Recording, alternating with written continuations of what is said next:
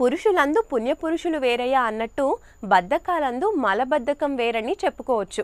మనసుకు బద్ధకం అనిపిస్తే కాసేపు ఏ పని చేయకుండా గడిపేస్తాం. ఇష్టమైన పాటలు వింటూనో మరేదైనా వ్యాపకంతోనో కాలక్షేపం చేస్తాం. కానీ అదే బద్ధకం మన జీర్ణ వ్యవస్థకు వస్తే ఏంటి పరిస్థితి? దీన్నే కాన్స్టిపేషన్ లేదా మలబద్ధకం అంటారు. ఈ మలబద్ధకంతో శరీరానికి వచ్చే సమస్యలు అన్నీ ఇన్ని కావు. మలబద్ధకం రావడానికి చాలా కారణాలున్నాయి. అయితే ప్రధాన కారణం మాత్రం ఆహారమే. ఏ ఏ పదార్థాలు తినటం వలన సుఖ విరోచనానికి ఇబ్బంది కలుగుతుందో మనం ఇప్పుడు తెలుసుకుందాం.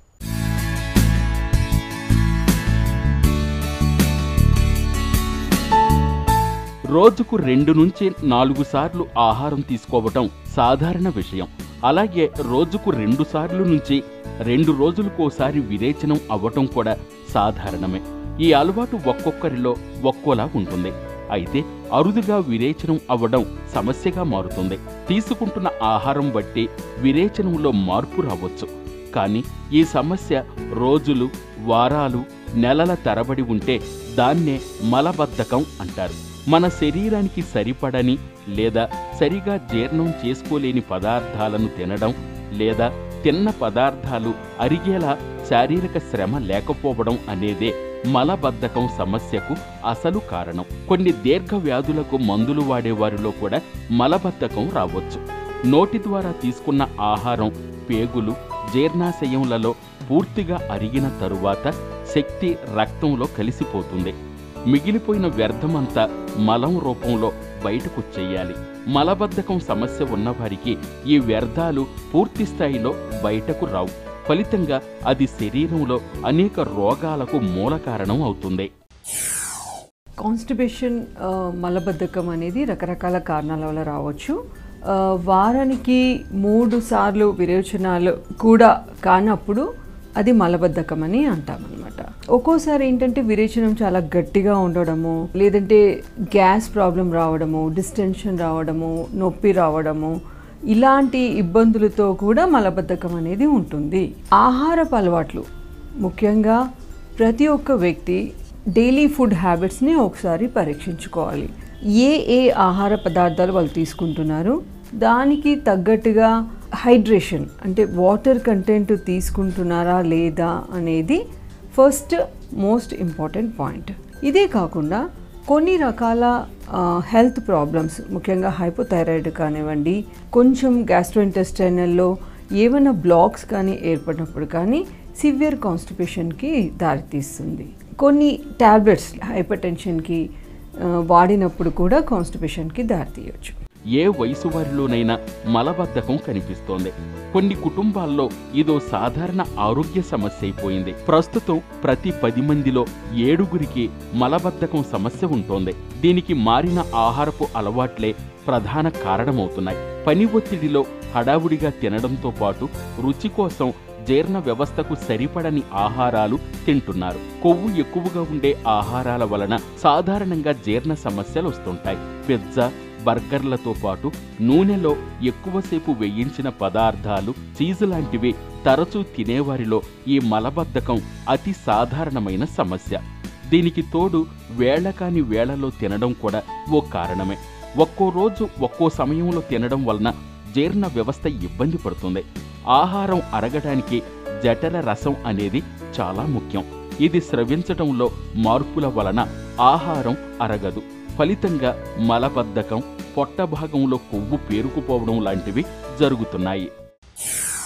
బాగా ప్రాసెస్డ్ ఫుడ్స్ అంటే ముఖ్యంగా రిఫైన్డ్ సీరియల్ గ్రెయిన్స్ అంటే గింజ ధాన్యాలు ఏవైతే బాగా పొట్టు తీసి బాగా పాలిష్ చేసి ప్రాసెస్ చేసిన ప్రోడక్ట్స్ కాన్స్టిపేషన్కి వర్స్ట్ ఫుడ్స్ అన్నమాట. ఫర్ ఎగ్జాంపుల్ మైదా నూడిల్స్ కొన్ని రకాల సేమియా బ్రెడ్ బిస్కెట్స్ ఇలాంటి ఫుడ్స్లో అసలు పీచు పదార్థము అతి తక్కువగా ఉంటుంది.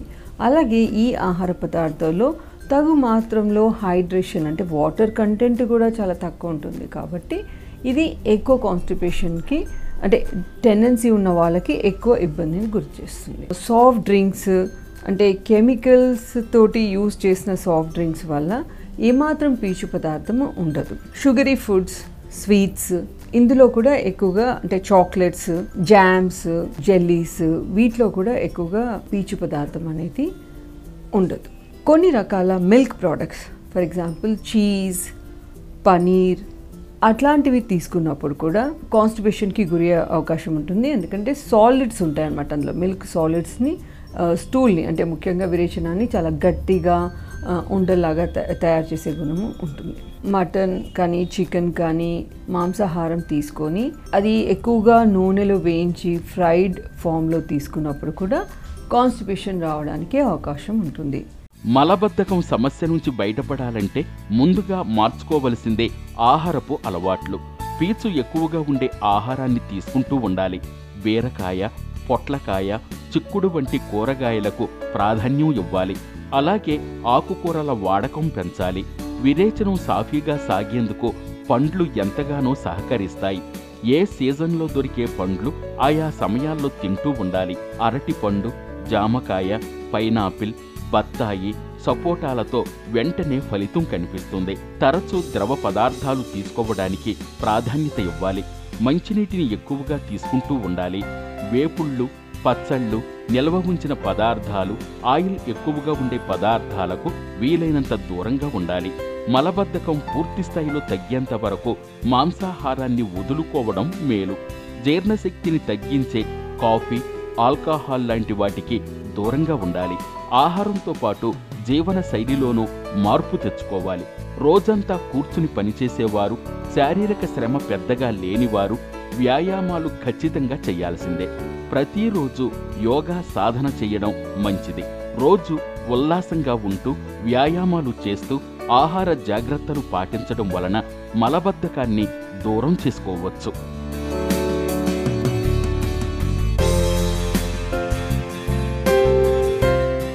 మలబద్ధకం ఇప్పుడు చిన్న సమస్య ఏమీ కాదు. అది సృష్టించే రోగాలు చిన్నవి కావు. కాబట్టి ఎప్పటికప్పుడు ఈ మలబద్ధకాన్ని వదిలించుకోవాల్సిందే. శరీరం ఉత్సాహంగా ఉన్నప్పుడే మనిషి తాను అనుకున్న పనులు చేయగలడు. మలబద్ధకం ఆ వేగాన్ని అడ్డుకుంటుంది. కడుపులో ఏదో మిగిలిపోయినట్టు అనిపిస్తూ నిరంతరం ఏకాగ్రతను చెడగొడుతుంది. కాబట్టి మలబద్ధకం సమస్య ఉందని వైద్యుణ్ణి సంప్రదించడానికి రోగాన్ని వదిలించుకోవడానికి మొహమాటం అక్కర్లేదు. కొన్ని రకాల ఆహారాలు తినటం మానేసి మరికొన్ని రకాల పదార్థాలను ఆహారంలో భాగం చేసుకోవడం ద్వారా మలబద్ధకం ముప్పు లేకుండా మనం చూసుకోవచ్చు.